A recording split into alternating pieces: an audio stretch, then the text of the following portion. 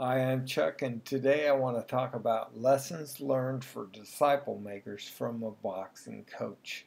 Today, when I was in, in the gym, I was just listening to a boxing coach, and he was so compelling that I had to go over and video him. And really, all I got was a two minute clip. But from that two minutes, I extracted 50 different lessons that parallel what Jesus did with his disciples. And so, what I'm going to do is let you pause this for just a second, take out a piece of paper, and get ready to write down every single lesson that you see that you can learn from this coach to apply to disciple making. You ready? Pause the video and then once it starts again, you'll see the coach and just start writing down your observations on how to be a good disciple maker from watching this coach. That's it. That's it. That's it. That's it. The fly's dead. Kill it. Got it. You got it now? It's in your brain? All right. Uh-uh. You ain't got nowhere to go. You, you got to go with that, that second punch.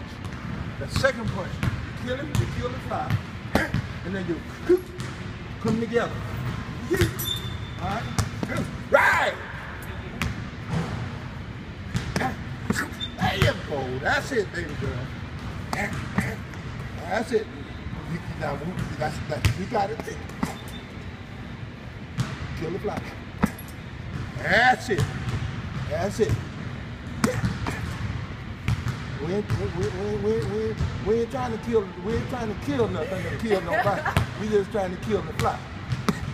That's it, baby baby. You got it. The rhythm is good.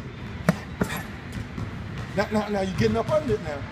Don't don't you got you gotta you know what I'm talking about? Now, it's not a hook, it's a punch. It's a jab, and that one do that. Right. Right. Do it again. Now back up. Back up. I want you to slide a pretty good. Slide. But stick there. Do the punch. Right. Back up.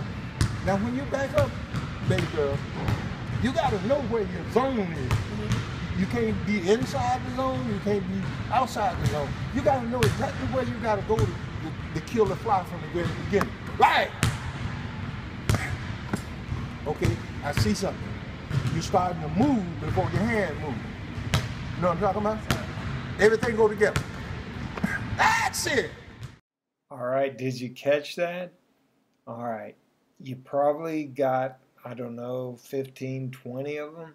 What I'd like to do is make a list of 101 lessons learned from this little two minute clip, and I bet we can do it.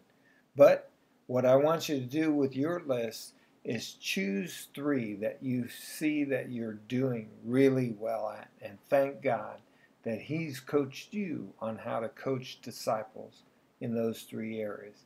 And then I want you to choose three more that you really need to improve on.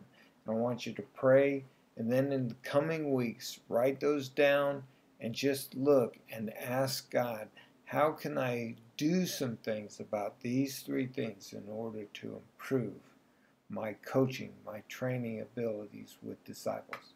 All right, I hope that's helpful. Until next time, keep making disciples.